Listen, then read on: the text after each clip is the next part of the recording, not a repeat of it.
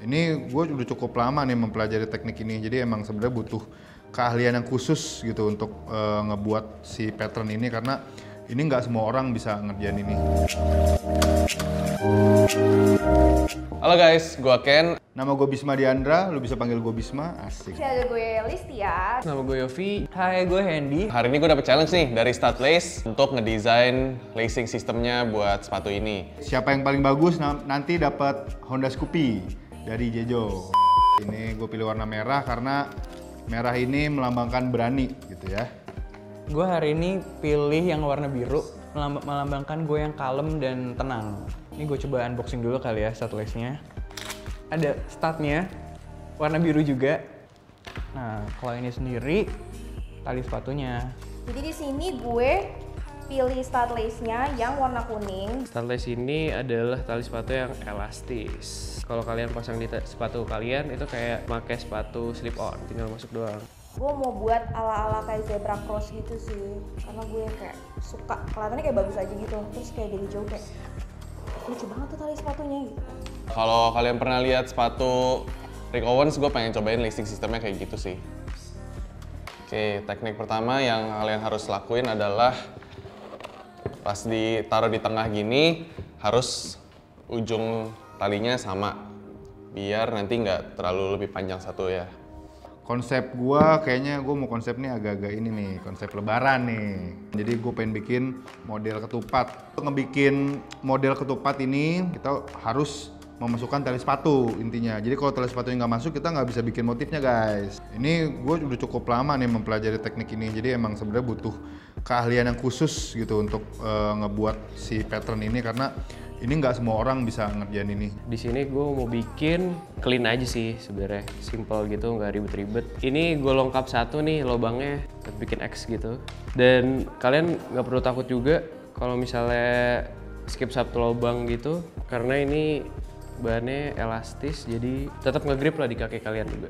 Gue mau coba versi iketan gue. Gue sebenarnya kalau misalnya sehari-hari sih, sebenarnya iketan gue ngasal sih sebenarnya. Biar cepet aja soal buru-buru kan. Jadi gue mau coba ini kalau gue namain untel-untel dua kali sih. Oke, lo masukin dulu awalnya, terus baru diuntel dua kali, baru masukin lagi. Apalagi cocok nih buat lo yang kalau misalnya suka telat, buru-buru. Nah, apa namanya ngurusin tali sepatu kan suka bikin lama tuh. Cocok banget sih buat lo. Nah, gue pilih teknik ini karena simpel aja sih dibuatnya. Nggak kelihatannya pertama agak susah, tapi ternyata gampang. Jadi kita menyembunyikan keribetan talinya itu di bagian dalamnya doang. Sini.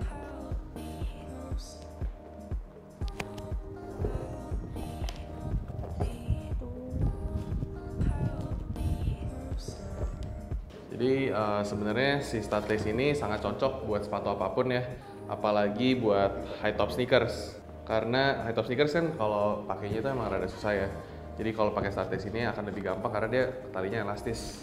Nah ini nih anyamannya nih kita mesti mainkan nih guys Kayak, kayak lagi nganyam gitu Terakhir nih Tinggal anyam lagi nih guys Eh, Bawah nih berarti bawah ke atas Udah gini lu akan dapat satu pattern anyaman nih guys Saya lihat ya Segitiga melambangkan ketupat yang eh, berani gitu Ketupat yang berani gitu dia Kayaknya gue nggak sampai atas deh.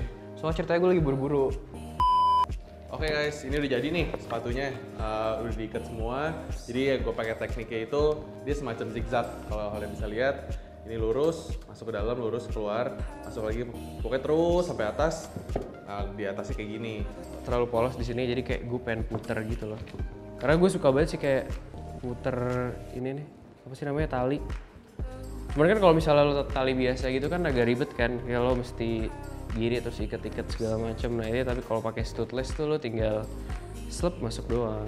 Depannya clean jadi kayak ada ini dikit, jadi nggak terlalu simpel gitu. Nah ini kenapa gue tali ini ke dalam terakhirnya karena gue pengen statnya ini ada di dalam sini jadi di luarnya nggak kelihatan gitu. Nah sebelum kalian eh, pakai ini harus dicobain di outfit dulu. Jadi eh, langsung dipakai di kaki. Kalau udah pas pakainya dikencengin, baru dia pakai eh, besi ininya gitu. Nah, ini gue akan mulai proses memasukkan statnya ke tali sepatunya.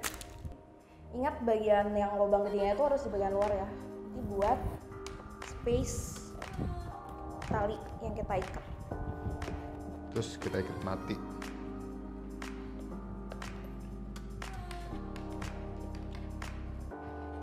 Ikat matinya sampai bener-bener mati, mati, mati, mati. Tuh, eh, sampai kecil gitu. Eh, tuh kan kecil tuh, ya kan guys. Langsung potong aja, Bismillahirrahmanirrahim gitu ya. Hah. Terus Nah, tahap terakhir adalah ngelok bagian luar dari talinya. Ini udah seperti ini. Wih guys, sudah jadi nih guys.